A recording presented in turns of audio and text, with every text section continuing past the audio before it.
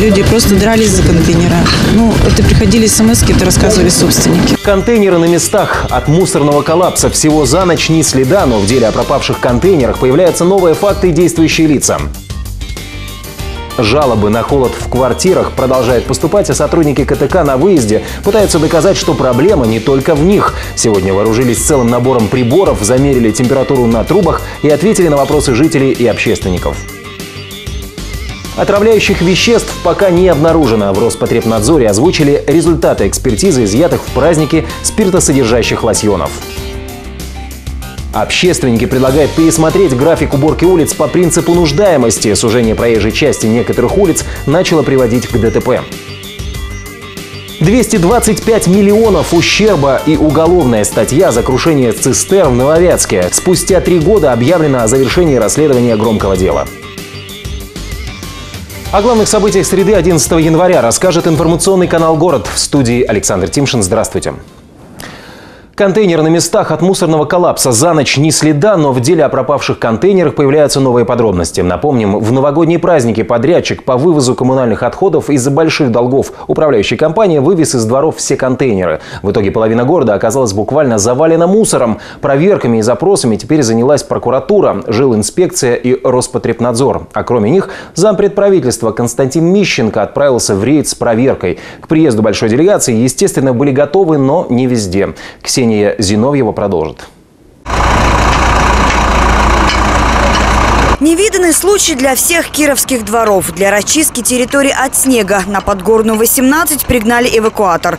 Говорят, что дворники и техника всю ночь готовились к проверке. Очистить лестницы от льда успели бы и за ночь, но не встречаешь же гостей без работающих дворников и спецтехники. Контейнеры для мусора тоже на месте. И подрядчик сегодня не спал. Все было прибрано э, до трех часов ночи. Судя по тому, как еще вчера вечером выглядела половина дворов в Кирове, такая быстрая уборка Саху стоила недешево. Люди, техника, затраты на вывозку. С момента, когда он же отказался вывозить мусор и забрал свои контейнеры из дворов, дворов прошло больше недели. Отходов накопилось несколько тонн. В этом доме не так критично было. В других домах, да, люди просто дрались за контейнера. Ну, это приходили смс это рассказывали собственники. О долге в 24 миллиона рублей и возможности оставить жильцов без контейнеров управляющую компанию предупреждали. Вот документ, который был выслан должникам за месяц до мусорного коллапса. Причем с конкретным описанием того, что произойдет, если долг будет не уплачен. Сегодня управляющая компания о прошлом вспоминать не хочет.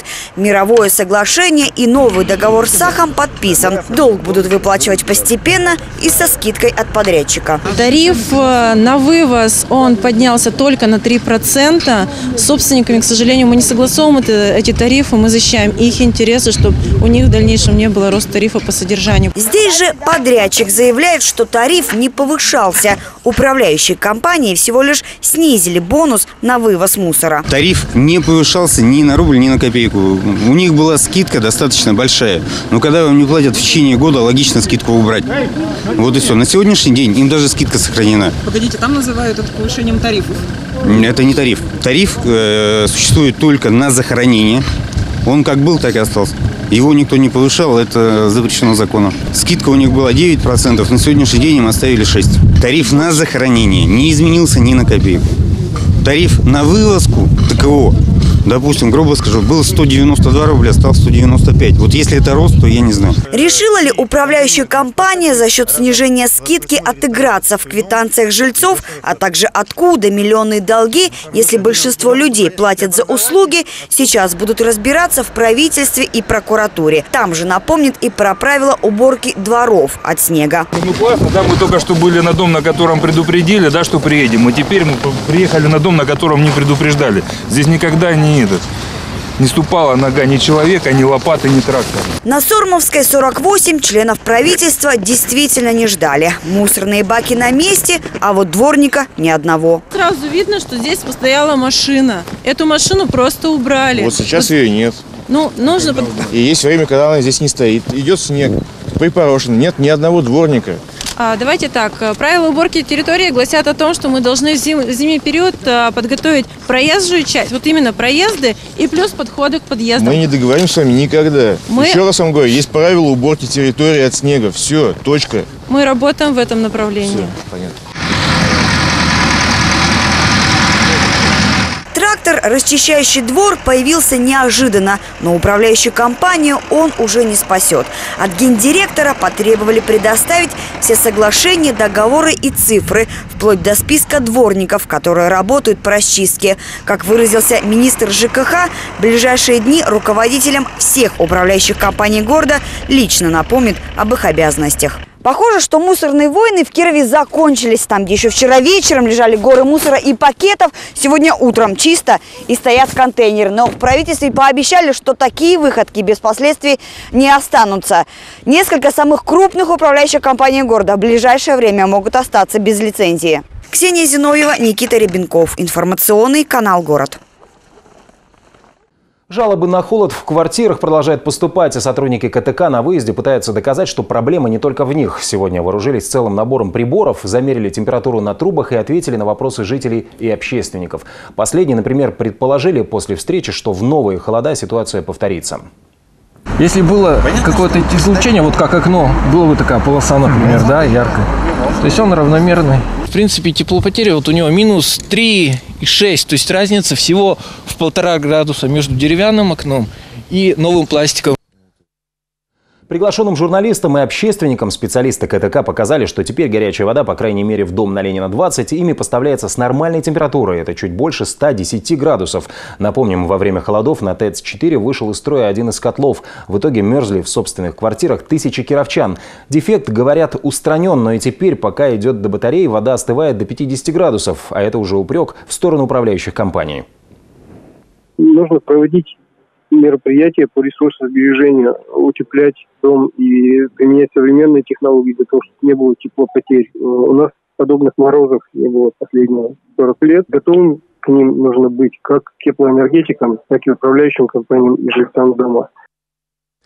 Между тем, жалобы на холодные батареи продолжают поступать. Сегодня приходят сообщения и о том, что проблема еще не полностью решена в некоторых детских садах и школах. К примеру, в 47-й уроки сокращены до 30 минут. По мнению членов общественной палаты, сказать, что проблема с отоплением города Кирова полностью решена, нельзя.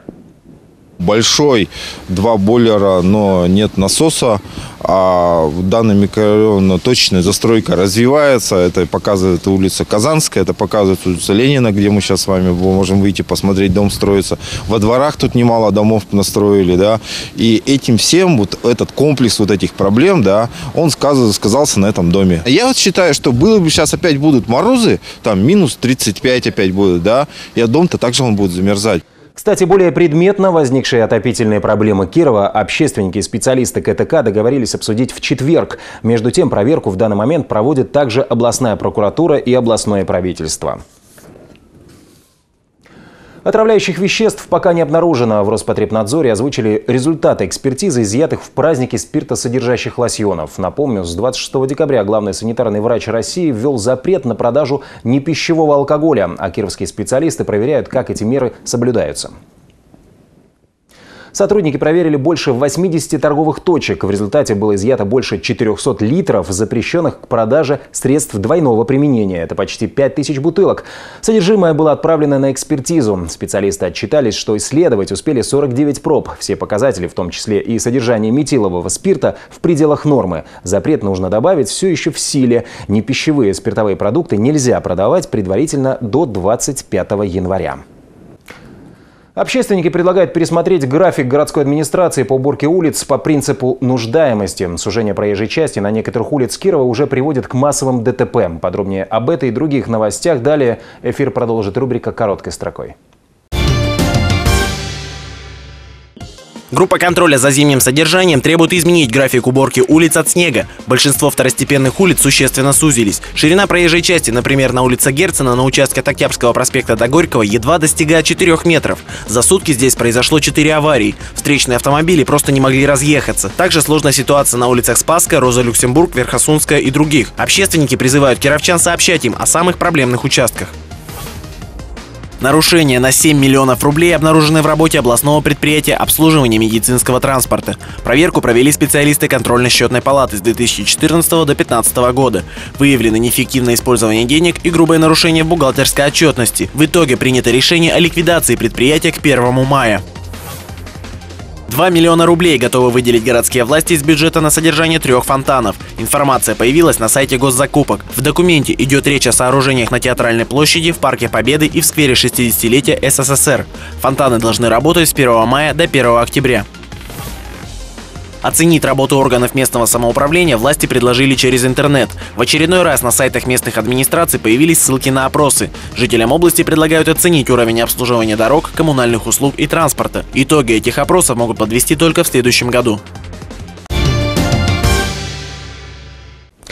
Смотрите во второй части нашего выпуска после короткой рекламы.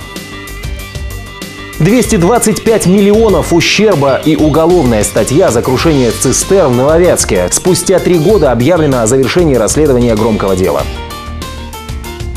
Точка в деле о полицейской взятке «Автовышка», пострадавшая от рук пьяного бесправника. Самые резонансные происшествия в специальной рубрике. Поможем встретить любовь и сбросить лишний вес. Первый городской канал объявляет новый набор участников сразу двух проектов «В активном поиске» и «Похудела». Эти другие новости уже через несколько минут.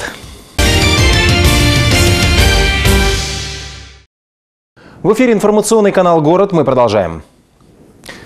Спустя три года после аварии закончилось расследование схода поезда с рельсов в Нововятске. Вину вменяют трем работникам железной дороги. Напомним, в феврале 2014 года на Горбатом переезде под откос отправились 34 вагона со сжиженным газовым концентратом. Ущерб от катастрофы оценивается в 225 миллионов рублей.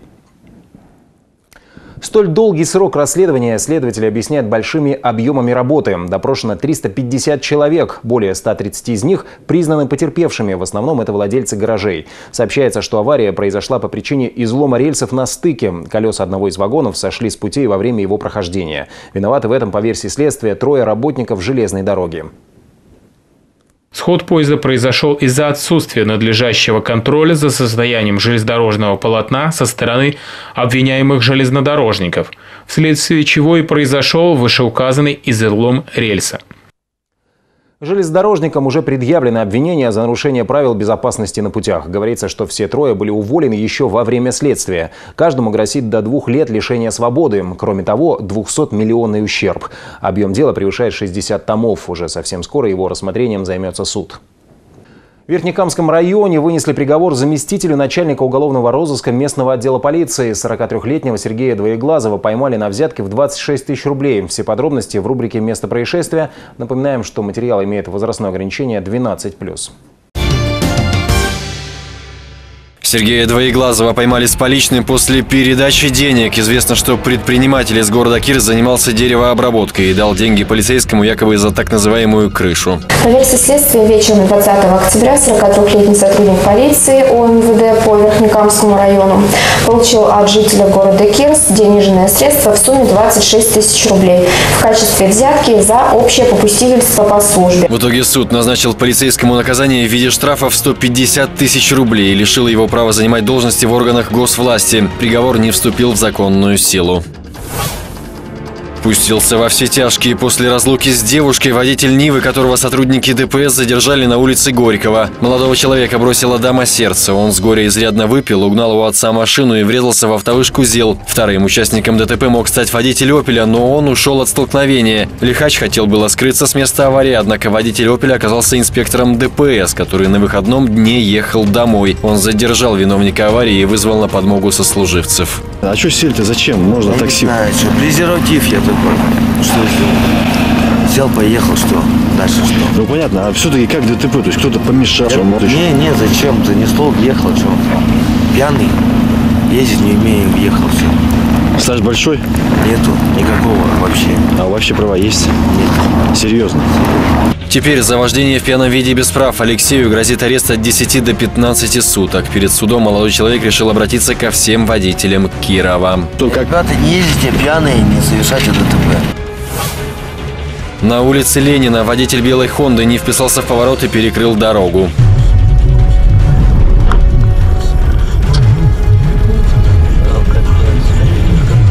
Такого маневра водитель встречной «Лады» не ожидал. Мужчина нажал на тормоз, но было поздно. Автомобиль начал скользить, но до провокатора не докатился. По пути врезался в «Шкоду». В итоге от необдуманного маневра водителя «Хонды» пострадали сразу два автомобиля. Сама «Хонда» не пострадала. Поможем встретить любовь и сбросить лишний вес. Первый городской канал объявляет новый набор участников сразу двух проектов «В активном поиске» и «Похуделла». Старт второго сезона программы «Соединяющие сердца» запланирован в феврале. Администраторы проекта уже объявили об отборе участников. Реальный шанс найти свою любовь появился у тех, кто не решился принять участие в первом сезоне. Если вы до сих пор переживаете от неразделенной любви или ваши знакомства заканчиваются первым свиданием, а ходить по клубам и кафе в поисках своего человека некогда, в активном поиске то, что нужно именно вам. Оставить заявку на участие можно в официальной группе проекта ВКонтакте или позвонить по телефону 44 66 87 случаем шансы изменить свой статус есть у каждого. Сейчас в нашей группе ВКонтакте очень много заявок. В основном заявки это от прекрасной половины человечества, поэтому сейчас мы очень ждем мужскую аудиторию, тем более, что девушки у нас все красивые, пишут молодые, перспективные. Ждем мужчин. В феврале Первый городской канал также устраивает кастинг на третий сезон проекта «Похудело». В прошлом году с помощью программы участники сбросили больше 300 килограммов. Шанс стать стройнее появился снова. О времени и месте кастинга станет известно на днях. Следите за анонсами в социальных сетях и в эфире Первого городского канала.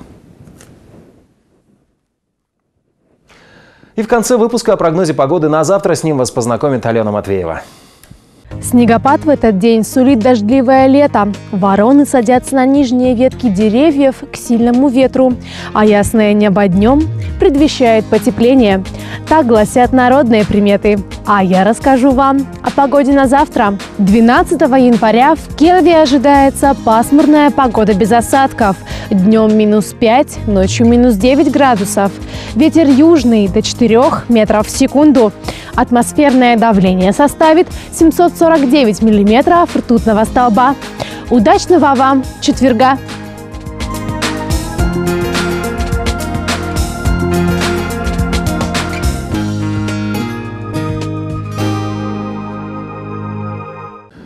Такой была эта среда, 11 января. Если у вас есть новости, звоните в редакцию информационного канала «Город» по телефону 54 18 19.